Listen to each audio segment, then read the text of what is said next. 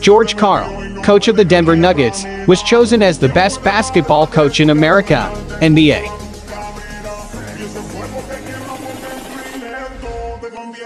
Yeah.